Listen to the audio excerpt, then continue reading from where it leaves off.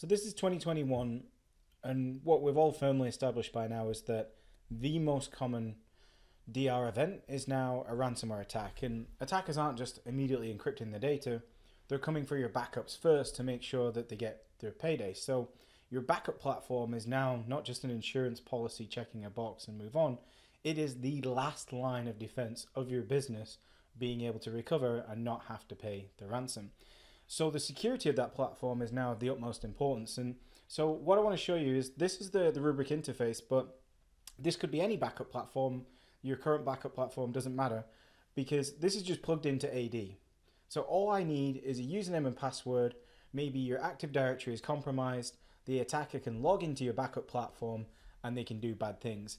And if it was just your online banking and all needed was a username and password, would you do business with that bank? Or would you take your business elsewhere?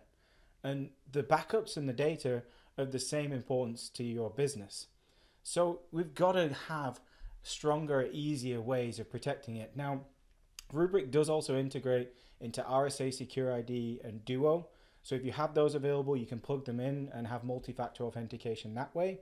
But even if you have those, you still might have local accounts if your internet connection is down and you've got to protect those because an attacker will just bypass your single sign-on and go via the local account. So this is where Rubrik is uniquely differentiated in the market because Rubrik gives you built-in two-step verification. So all you have to do is use Google Authenticator, Microsoft or Okta. I prefer Google Authenticator. You install it on your phone. It could be iOS or Android, supports both we click next, we load the app, no internet connection needed, and all I have to do is scan this QR code. I enter in my one-time passcode to verify the setup, so 072862. I click submit. And now if I log out, and in that same scenario where let's say my Active Directory has been compromised, They've got my username and password. They've taken down all my production servers. They then come and try and take out your backup platform, sign in.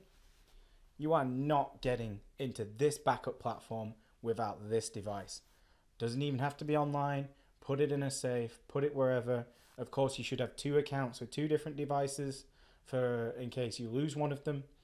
But this is your last line of defense and it now is completely secure with Rubrik, and that's why customers are switching their backup platform to Rubrik in droves all around the world.